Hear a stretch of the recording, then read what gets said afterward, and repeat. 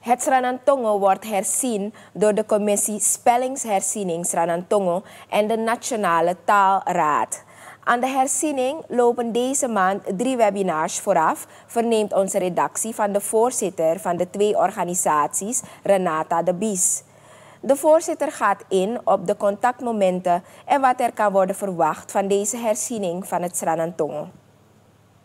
Deze online uh, webinars voor de Sranantongo hebben als doel om de taalgebruiker inzicht te geven in wat er gaat komen, maar ook om de taalgebruiker de gelegenheid te geven om mee te denken en mee te praten.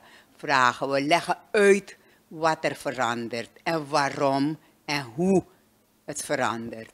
Wat we willen hebben, we willen draagkracht hebben voor de nieuwe spelling. Dus niet dat nadat die spelling is goedgekeurd door het ministerie, dat er daar ineens een andere spelling weer komt. Zoals het geval is geweest in 1986. We willen draagvlak hebben voor, ik zei draagkracht, ik bedoel de draagvlak hebben voor de nieuwe spelling die in 2023 of 2024 bekrachtigd zal moeten worden door de minister van Onderwijs.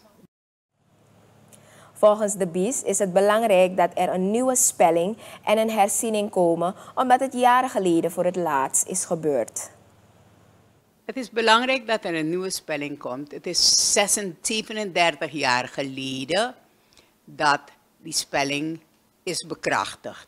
NAX heeft zoveel keer gevraagd aan het ministerie van Onderwijs en eindelijk heeft het ministerie van Onderwijs positief gereageerd op het voorstel van NAX nadat ze zijn geadviseerd geworden door de Nationale Taalraad. Wat is er gebeurd? Het Srarantongen heeft twee spellingen.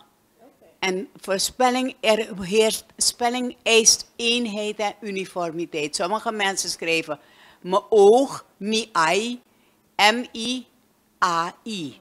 Terwijl de, een hele grote groep schrijft m-i, mi, I-A-Y.